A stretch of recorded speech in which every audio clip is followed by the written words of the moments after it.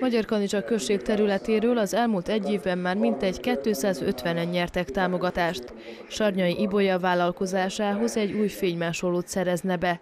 Úgy gondolja, ha másnak sikerült, sikerülhet neki is. Soha nem pályáztam, de hát látom, hogy mindenki pályázik, és többé-kevésbé sikeresen pályáznak a, a vállalkozók, és megpróbálom én is. A pályázati kiírásról, valamint a pályázati újdonságokról, közöttük az online űrlap kitöltési lehetőségéről is hallhattak a résztvevők. Eddig is kellett és szükséges volt e-mail, eddig is ki kellett számítógépen tölteni az űrlapot, bepötyögni a mondatokat, számokat. Ez a jövőben is így lesz azzal, hogy egy online rendszerben fog működni. A Magyar Kanizsai Fórumon Pásztor István a VMS elnöke feltette a kérdést, hol vannak most azok, akik egy évvel ezelőtt váltig azt hangoztatták, hogy a támogatási pénzeket a párt már előre leosztotta. Most illene bocsánatot kérniük, vélekedett az elnök.